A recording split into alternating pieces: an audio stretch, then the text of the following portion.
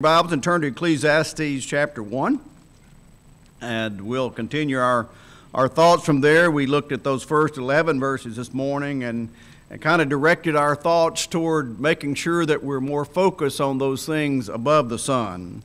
Here, the preacher, he calls himself a preacher, uh, who is king of Israel, who is the son of David, and the assumption that we would make is that this is Solomon.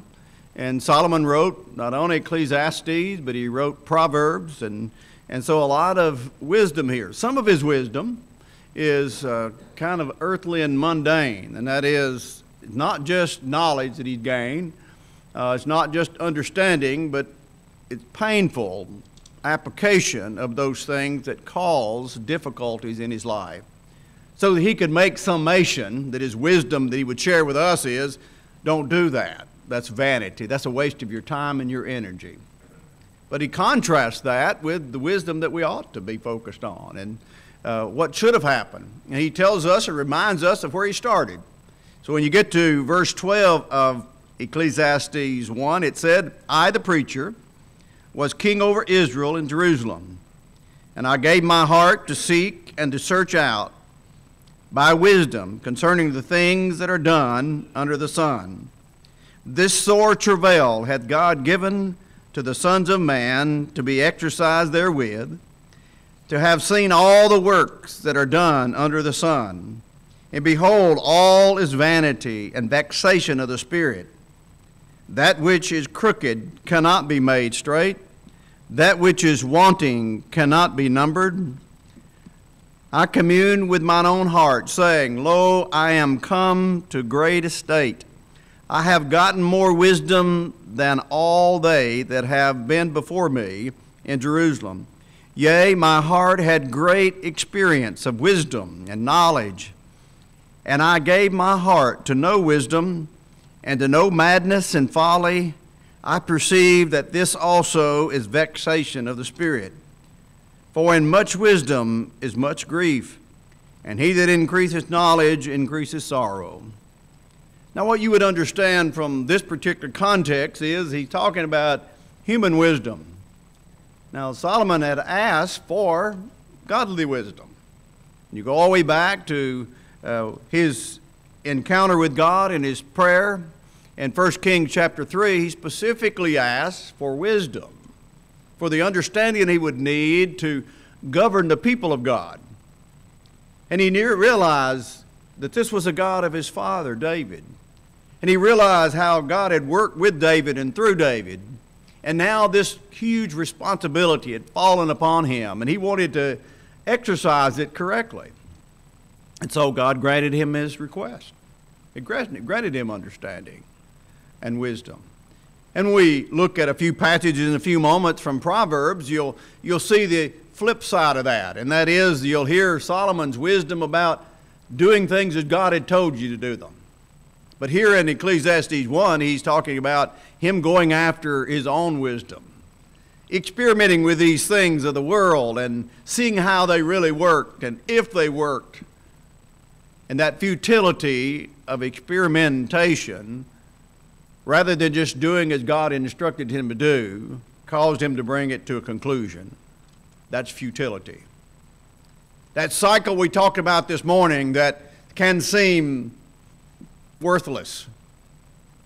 Where you have everything about nature in this secular motion, it's repeating itself. The sun comes up and the sun goes down. The, the wind goes from south to north and, and makes it circle back again. And, and this condensation that takes place where there's evaporation of water into the, from the ocean into the sky, and it brings down rain, it gets in the rivers, and it makes sure everything is, is, is, uh, has the refreshment that it needs, but it goes back to the ocean. And this cycle seems to just go on and on and on.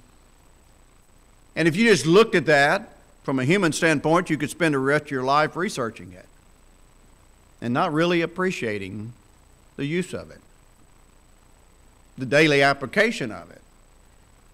That's why the Lord would always simplify things when He was on this earth. Now, just think about that. The one who spoke everything into being, the one who set all those things into motion, the one to make sure that they continue to work. When He spoke to us, when He spoke to man, He simplified it for us. In his Sermon on the Mount, even when he taught his disciples to pray, listen to him. We are to pray thusly Our Father who art in heaven, hallowed be thy name. Notice he immediately lifts up our eyes beyond what's under the sun, doesn't he? Our Father who art in heaven. And then he deals with all the matters under the sun that you and I experience while we're here. And one of those things is give us this day our daily bread. The sun comes up, the sun goes down. What do we do every day? Be conscious, be aware that every good and every perfect gift comes down from Him. We, we give thanks for the source of all of our blessing every single day. We can just say, every day is the same, you know. Sun comes up, the sun goes down. When the sun comes up and we give God thanks for that day and for the provisions of that day, that causes us not just to say, well, this is day after day after day. It says every single day is a blessing from God and an opportunity to serve God. And he dealt with every matter, didn't he, about our function here on this life in that, in that prayer that we are to pray? We're dealing with our relationships here, and, and even when we talk about forgiveness, that we are to recognize that the one who is above the, the sun, the one who is not mundane, the one who is eternal, is conscious of what's going on here on this mundane sphere. And that we would be forgiven as we forgive. Well, eventually, eternally, we want to be forgiven forever, don't we? We don't want Him to remember our sins against us anymore. And so while we're here, and so here's this wise man reminding us that when we look around and see those things happening, they can just seem laborious, so repetitious, doesn't have meaning if you're just looking at it under the sun. When you put the eternal perspective to it, that goes beyond just our eating and, and our functioning in our daily lives and our blessings. It, it goes beyond that to the eternal part of the resurrection. When you get to 1 Corinthians chapter 15 and verse 19, Paul is trying to remind them of the gospel, the good news concerning Christ, of his death and his burial and the resurrection. And he said something that kind of reminds us of what the wise man is saying here the things under the sun. He said, If in this life only we have hope, we are above all men most miserable. If this is it, just the things under the sun, then you could see why the wise man said, Vanity, vanity, all is vanity. It's a vexation of the soul. It's tiresome. Just doing the same thing over and over for what? But if there's more than that, if there's something beyond the sun, then we can focus on, then it's not so futile anymore, is it? Now, all of a sudden, we began to see there's a perspective that we can have, and, and there's a different kind of wisdom that we can acquire. When you look at passages like is recorded for us in James chapter 1 and verse 5, we spent some time in James, and James 1 and verse 5 asks us or tells us how to ask God for wisdom. And He'll give it to us liberally and upbraideth not. But notice again, we recognize the source. Our, our minds are focused towards something beyond here. What's the wise man writing about? He took this atmosphere, this, this surrounding, this kingdom, this opportunity, and this mind that God had given him, and he toyed with everything under the sun. Spent his existence as king over Israel. All of his wealth, all of his fame, experimenting with mundane things. What was his conclusion? It's futile. It's vaporous.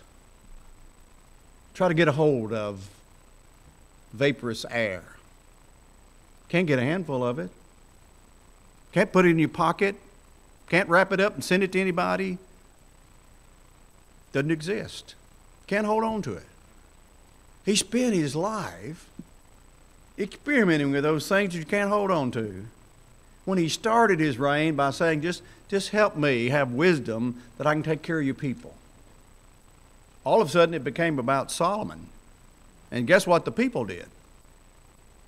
The people took care of Solomon. And he knew a lot of things about a lot of things, didn't he? I mean, he knew things about how all the water cycle worked before, you know, our wise people of our generation could give us a weather forecast. He said, here's how it works. Here's why the ocean doesn't fill up. Here's how the wind blows. Not going to stop, going to continue. All that's important to know while we're here to kind of uh, plan our days and plant our crops and all those things. But if that's all we know, and we die just knowing that, what's the next generation have to do? Learn that all over again. Experiment with that all over again. He said, Don't waste your time doing that. I'm speaking as someone who has wasted my time doing that. Don't do that. It's futile. Now, that's the wisdom of the world. And that's what he's talking about. But when you look at this same wise man, writing in Proverbs chapter 2, listen to the contrast and the different kind of wisdom when you're looking at that wisdom that is from above, not just experimentation in this world, not just wasting your time saying, Will that work? How long will it work? How often will it work? Does it consistently work? You just say, God's blessed me, and I'm going to use his blessings to glorify him. In chapter 2, in those first nine verses of the book of Proverbs, that same wise man said, My son, if thou wilt receive my words and hide my commandments with thee, so that thou incline thine ear unto wisdom and apply thy heart unto understanding. Yea, if thou criest after knowledge and lifted up thy voice for understanding, if thou seekest her as silver and searchest for her as for hidden treasure, then shalt thou understand the listen, then shalt thou understand the fear of the Lord and find the knowledge of God. For the Lord giveth wisdom out of the mouth cometh knowledge, out of his mouth cometh knowledge and understanding. He layeth up sound wisdom for the righteous. He is a buckler to them that walk uprightly. He keepeth the path of judgment, and he preserveth the way of the saints. Thou shalt understand righteousness and judgment and equity, and yea, every good path. Boy, that's different, isn't it? Didn't say anything about being futile. Didn't say anything about being vaporous. It's saying this is what it's all about. But we got to incline our ears. We got to pay attention to what God said, and that's what He asked for originally. I want to know how to govern your people the way you want them to be governed. Please give me the wisdom and understanding to do that. And for a very short period of time, He did that. He didn't continue to do that. So much so that he even violated God's commandments. He married foreign women. He built idolatrous places of worship for those foreign wives. Now, he didn't get that from God. That's not wisdom that God shared with him. That's not understanding that he would have had by what God had instructed his people to do. And he led his people into idolatry. So his wisdom here in Proverbs 2 is here's what we need to hold on to.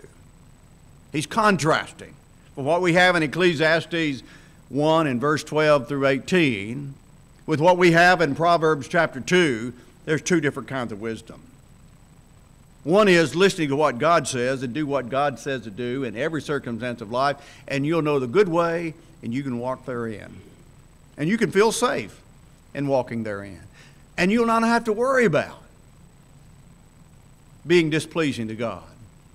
You will know every good way, and you will be, in God's eyes, righteous. Now, listen to the New Testament application of that. Paul encouraged Timothy, who had heard these instructions of God, who'd had this spiritual wisdom from a child. In 2 Timothy chapter 3 and verse 14, he said, From a child thou hast known the Holy Scriptures, which is able to make thee, listen, wise unto salvation. Did you hear that? Timothy, you want to be wise spiritually? Don't go out there and see what it's like to sow you wild oats. He dealt with those matters already with Timothy. Don't let your youthfulness get away from you. Make sure you keep yourself pure, be an example of the believer. But now he's saying, from a child, you've known those things that can make you wise. Continue in those things. Don't forget them. Make sure you walk in those. And then he reminds him of something that here the wise man is dealing with. He says, All scripture. Now, what did Proverbs 2 say?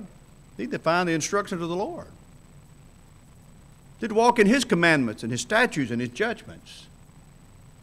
So Paul said to Timothy, All scripture is given by the inspiration of God. These are God breathed instructions that will allow you to continue to be wise unto salvation. And so, all scripture given by the inspiration of God and is profitable for doctrine, for reproof, for correction, for instruction in righteousness, that the man of God might be perfect, thoroughly furnished unto all good work. Now, that sounds diametrically opposed to vanity, vanity, all is vanity, doesn't it? Futile, useless, empty. He says to Timothy, You'll have everything you need.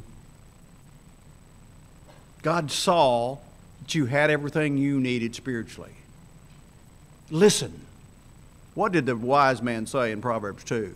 Attend your ears, pay attention listen. What did this same wise man say when you're talking about the wisdom of the world in Ecclesiastes 1? He said, when you're listening for earthly wisdom, you're never satisfied. You never hear what you want to hear. You never feel like you know what you need to know. It becomes empty and useless.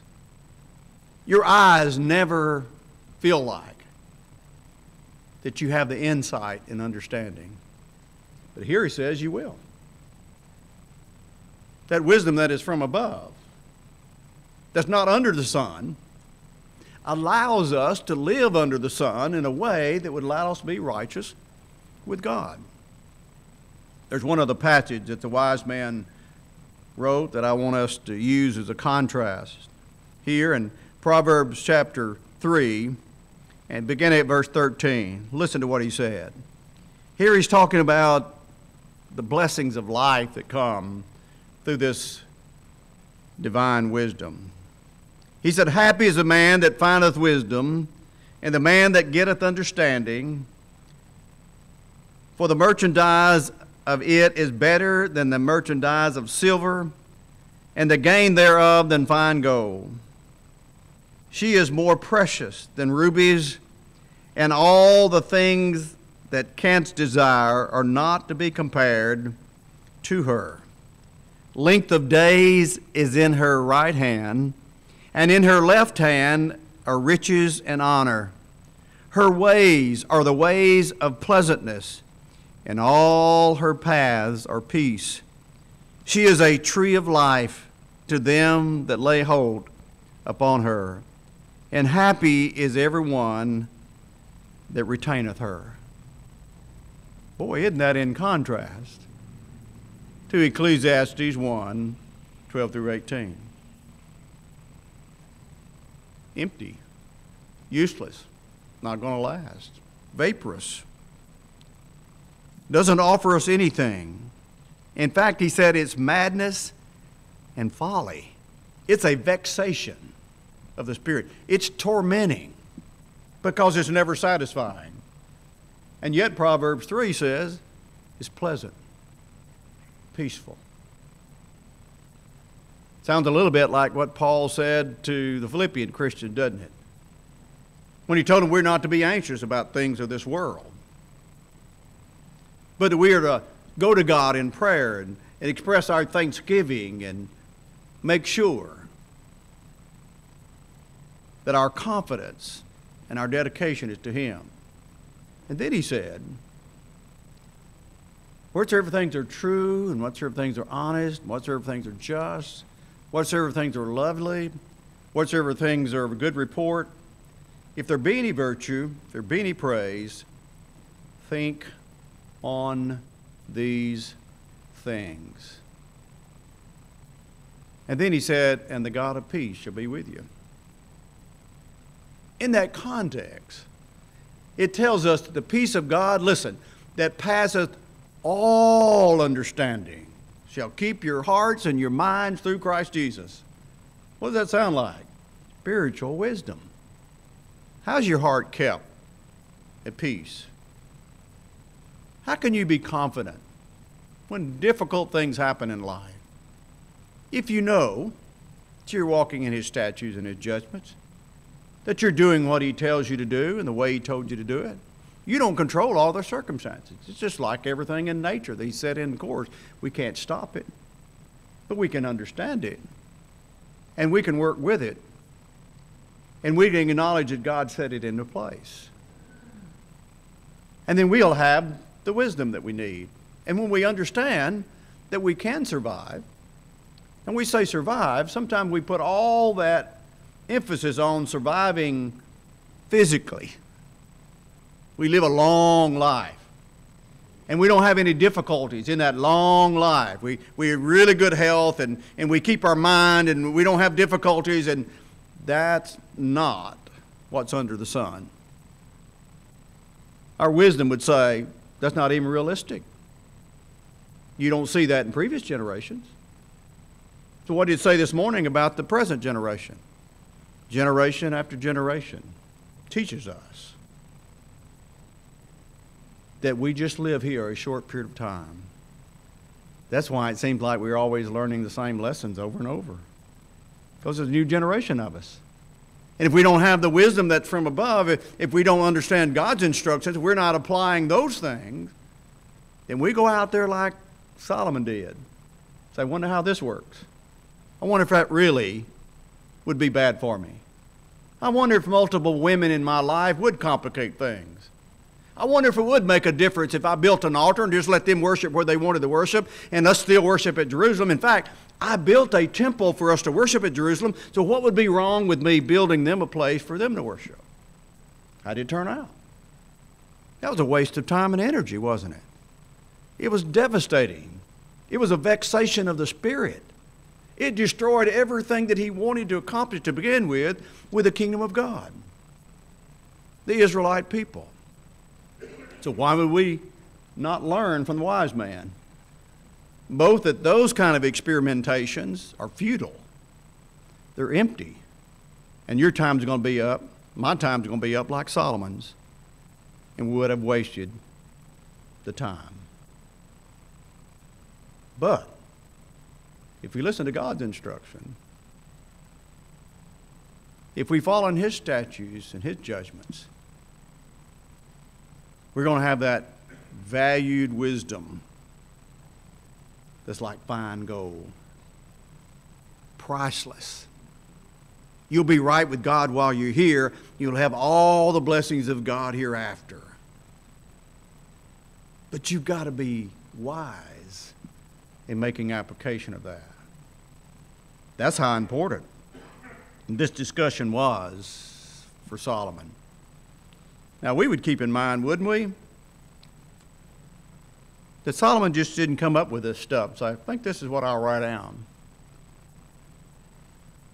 We know the Holy Spirit saw that Solomon wrote it down. Probably some of those things Solomon would have rather not written down. But it was all recorded the good the bad, the ugly. For one reason. One reason only that you and I can read it. Romans chapter 15 and verse 4 said, It was written for our learning. That we, through patience and comfort of the Scriptures, might have hope. What do you say about the things under the sun? If that's our focus, hopeless, futile, empty, temporary. But if we focus on those things beyond the sun, ah, eternal. You see, First John, or rather First Timothy chapter 2 and verse 4, Paul said, God desires for all men to be saved and to come to a knowledge of the truth. He wants us to have this divine wisdom that He's provided, come to a knowledge of the truth. That sets us free from sin, and that gives us a perspective of how we are to live while we're here and not be vexated by the things of this world, but be freed from it. That we just use what we have here that God blesses with to serve Him while we're here with the focus and the hope of what awaits us there. Aren't you glad that the Holy Spirit made sure that the wise man, the preacher, the son of the king who became a king, recorded not only the wisdom that God intended for him to use that he didn't use, but recorded the wisdom of this world that's futile and empty.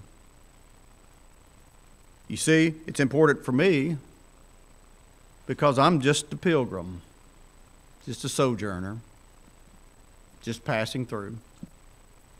And if I get hung up of wanting to see what all this world has to offer, and libraries are filled with books, universities have dissertations lining the walls. They have computers filled with research that's been done on things that have already been answered by God in His Word because they're not willing to accept what He revealed. And they spend their entire existence, professionally, educationally, experimenting, guessing. You know what happens? Somebody else comes along and writes a dissertation, does research, same subject. Spend their whole life becoming an expert on that subject. Somebody else comes along and says, Well, that's not right. They left this part out. And so here's what we need to do. And Solomon knew all that because that's what he did. Where is Solomon today? No, he's like the rest of the generations he lived. When he lived, he was famous. Nobody like him before him, nor after him in Israel. Unique And the opportunities had to exercise wisdom. He was more interested for a long period of that life of the wisdom under the sun. But the Holy Spirit said, here's what he found out from that. As we make our way through this book, you're going to be reminded repeatedly that this man received not only wisdom that he could have used and glorified God in everything he did as a king, but he had this earthly wisdom that absolutely tortured him. And when he gets through with it, we'll repeat this often. His conclusion will be in the last chapter of this book. The conclusion is fear God, keep His commandments. This is the whole duty of man. You say, turn to the last chapter. How does it end? But it's important for us to see the lessons that he intended for us to learn. If you hear, and not a child of God, wisdom from above tells you how to become one. Galatians chapter 3 says we're all the children of God by faith in Christ Jesus. For as many of us are baptized into Christ have put on Christ. No more Jew to Greek or bond to free, male nor female. We're all one in Christ Jesus. And if we're in Christ, that's a big if. If we're in Christ, then are we Abraham's seed and heirs according to the promise. Oh, being an heir means we have promise of eternal life only in Christ Jesus. No other place to find it. People go looking for it other places. Religions are built of other means of having eternal salvation when wisdom would say, this is the only way to become a child of God and an heir of the promise. If you've done that, based on your faith that Christ is the Son of God, you're willing to turn away from your sins and repentance, your confession of Him, if you have become a child of God, what kind of wisdom are you exercising every single day? You see, it's important. Jesus said to those disciples who believed on him in John chapter 8 and verse 31 if, listen to the wisdom, if you continue in my word, then are you my disciples indeed, and you'll know the truth, and the truth will set you free. What does God want? All men to be saved and come to a knowledge of the truth. Got to continue in His Word. That's where the spiritual wisdom comes from. We can't ever lose sight of it. We can't start experimenting and saying, well, what about this? What if I don't do that? What if I did this instead? We have to continue in His Word. That's wisdom that's from above. If we can assist and help you do that, you let that be known while we stand and while we sing.